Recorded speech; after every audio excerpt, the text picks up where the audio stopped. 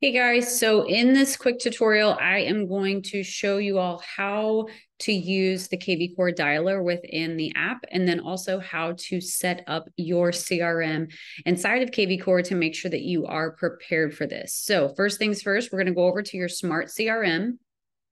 Inside of your smart CRM, you'll notice that at the top of mine, I have what are called saved filters. Basically, what that is, is where I have taken my contacts and now I have created specific filters. These could be filters like expired listings. They could be um, for sale by owners. They could be people inside of your neighborhood. It could be any number of things. In order to create the saved filter, you're going to go to all of your contacts click on filters right here in this little section. Once you get to filters, this is where you're going to be able to pick how you want to filter them out. Um, if you're unsure, I, well, let me just tell you this first. I don't use the contact statuses. I find that the contact statuses don't really help me out, um, only because KV Core moves people in and out of those. You can select assigned users. That's going to be more though for um, people who are sharing leads or if you're a team leader. So chris might use these to see who um, are leads that he has shared with specific people or if they've been shared by him. So leads that he has actually given out to people.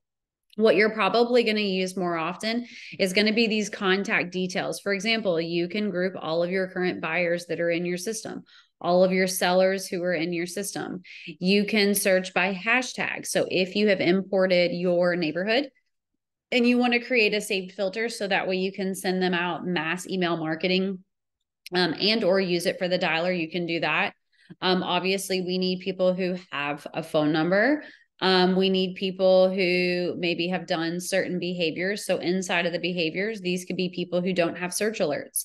So, maybe my purpose of my calling them is going to be if they would, if they were going to buy their next home, what area would they want to look in? And now we can send them out a monthly list of homes that are for sale in that area. So that way they can kind of see one, what the price is like, and two, what um, the market kind of looks in there people that do not have market reports those that would be a good list to call just to let them know hey one of the things as a real estate agent that i'd love to be able to share with you is what's going on in the market specifically in your neighborhood or zip code. Is that something that you would like? And if they say yes then you just get their zip code and then set those up. So basically once you have created your filter you're going to apply the filter. By applying the filter, it's going to take into consideration all of the search criteria that you've created for this specific filter.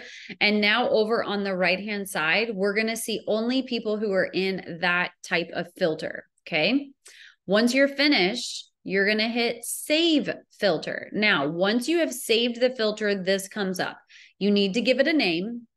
And then if you want it to be up at the top like mine, you have to hit this, pin this filter as a quick link at the top of my CRM and then save that filter. Once you save it, then you're going to be able to see those filters up here. Now, let's say that you have created filters and you can't see them up there. In the filter tab, you see this little gear right here. You're going to click this gear and now it's going to show you all of your saved filters. So you'll notice I do have some other saved filters, but I just don't have them tagged at the top. If you want to untag them at the top, you just click the blue box. If you want to actually delete this filter, then you click this X. When I click this X, it's going to ask me, Are you sure you want to do that?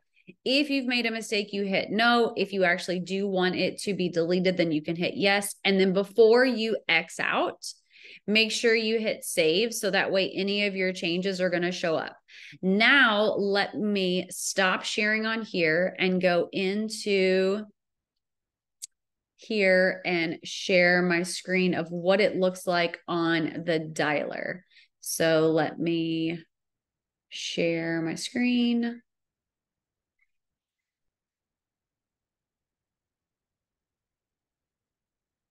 All right.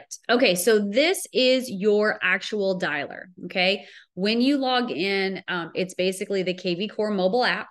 So when you get on there, you're going to go into the KV Core mobile app. It's going to ask you to log in. your login is going to be the exact same as when you log into KV Core. So it's going to be your first name dot last name at exprealty.com, same password. Now the dialer is all the way down here at the bottom. Okay. So right down here is where it shows the dialer. It has the little phone. Okay. So I'm going to click on that dialer. And now I can see everything that's going on. I can see the calls that I'm supposed to make today. These are new leads that have come in. Um, activity stream are going to be leads that have been searching for properties. So those are great people to call. And active leads are going to be people that um I let me move myself down here. Um that are going to be uh, people who obviously are not active. But right here, it says view a custom list. When you click on here, it's going to say, okay, well, here are all of your saved filters. These are all the saved filters that I've created inside of KV Core. So they've dragged over.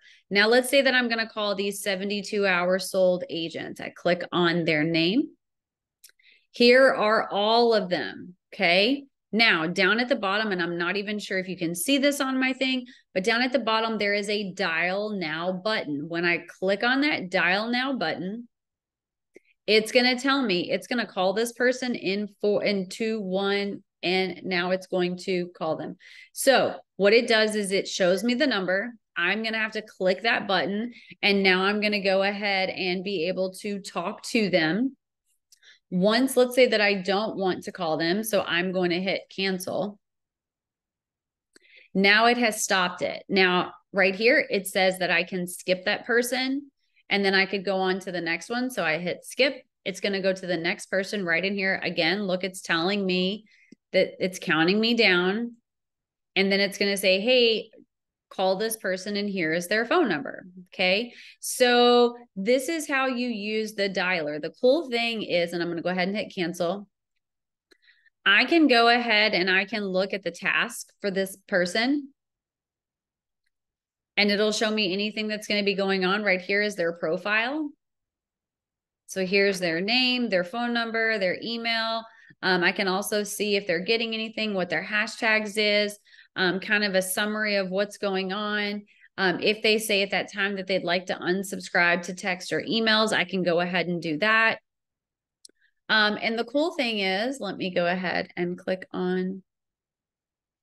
So the concierge can be on or off. So basically this, this um, lead's going to be removed from that. So I'm going to go ahead and hit cancel and it's going to keep that on there. And then again, it's telling me again, hey, do you want to call them?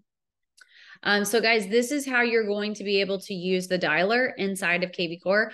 I hope this quick tutorial was helpful. If you have questions, by all means, reach out and get to calling. Bye guys.